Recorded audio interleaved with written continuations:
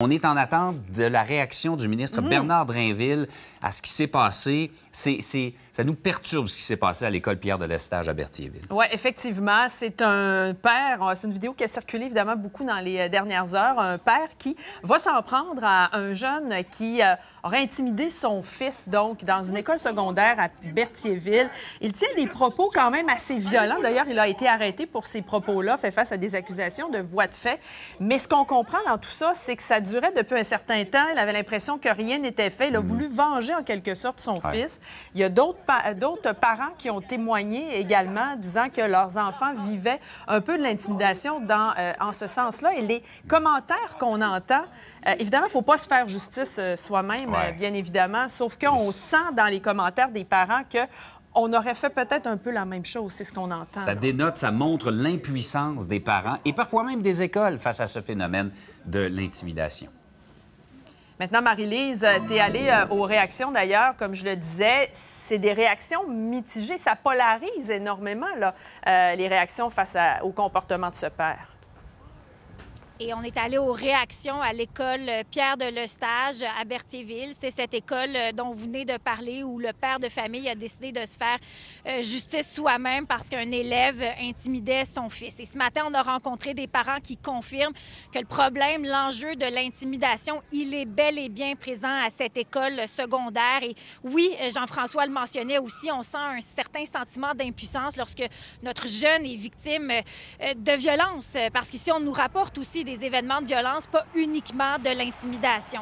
Le cabinet du ministre Bernard Drainville, un peu plus tôt, a réagi. Vous allez voir apparaître à l'écran euh, ce qu'on nous répond. Étant donné qu'il y a un processus, euh, processus judiciaire, nous allons limiter nos commentaires.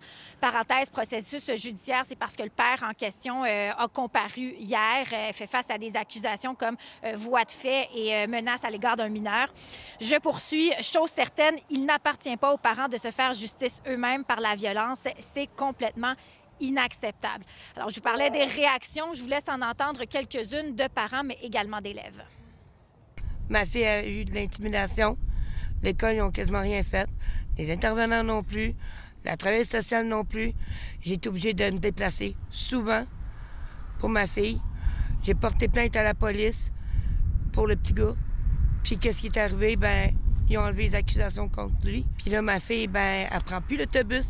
Je la voyage à tous les jours à cause de ça. Moi, j'ai tout le temps dit à ma fille, jamais la violence. Jamais. Mais quand tu arrives à ce point-là, fonce.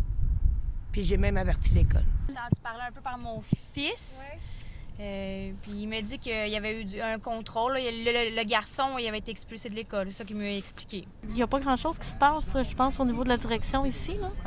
Les jeunes sont pas toujours gentils. euh, Puis honnêtement, euh, je vous dirais que j'approuve un- j'approuve pas les propos que le papa a dit, mais ça serait mon fils, j'aurais probablement fait réagi proba- probablement pareil.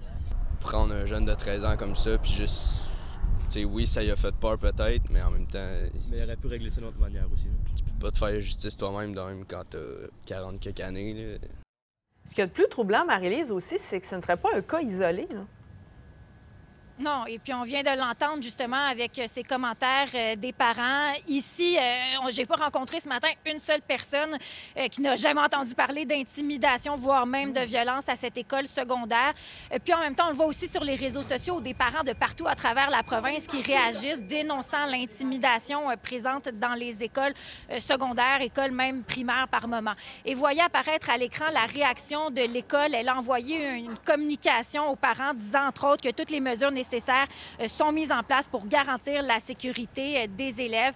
Mais bon, en attendant les commentaires, on voit qu'il faudrait peut-être en faire davantage euh, pour assurer un meilleur sentiment de sécurité. Merci, Marie-Lise.